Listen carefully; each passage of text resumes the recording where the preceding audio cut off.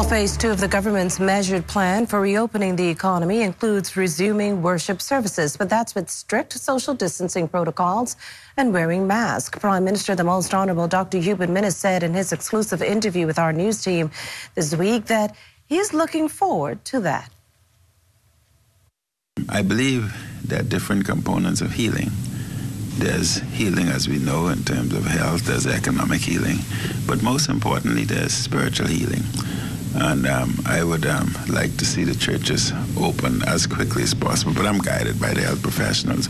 I'm in discussion with the health professionals because if the certain family islands have been liberated or freed, then the question should be asked, why why shouldn't the church likewise um, be included in that? So I'm in discussion with that. And um, uh, with respect to churches and those given from the islands, of course, they must follow social distancing and whatever else and the protocols. Um, the Christian Council President, um, Bishop Fernander, has been providing us with drafts of, of their protocols and the way forward.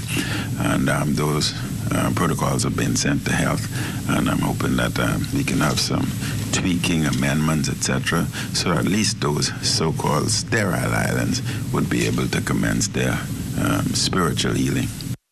Still, the opening of churches could pose some problems, so says senior pastor of Golden Gates World Outreach Ministries, Bishop Ross Davis, who reasons that nowhere in the world can large churches make it with just 10 people. Bishop Davis is referring to the restricted number to which the Prime Minister has reduced church gatherings in a bid to keep COVID 19 infections at a minimum.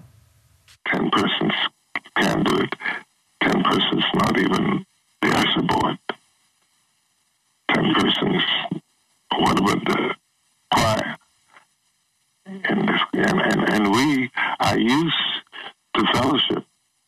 And so when he is when when the when the when, when we're given the when we're given when we're given uh, the the the when we're given uh, uh, not to hold hands or, or you know, they, they've cut the church right out because we're used to fellowship. We're used to praying with one another. And so that cuts us out right away. Secondly, he says the church needs financing. Where's the finance coming from when everyone is is locked down and there isn't any money, the rest of it. Uh, so we are financially struck. And so there you go again. And so we need funds. And uh, it's not just like it used to be. You know, I'm not, I don't know I don't know. Some people are saying that this is the end. All I know and all I believe is that this is a different way of doing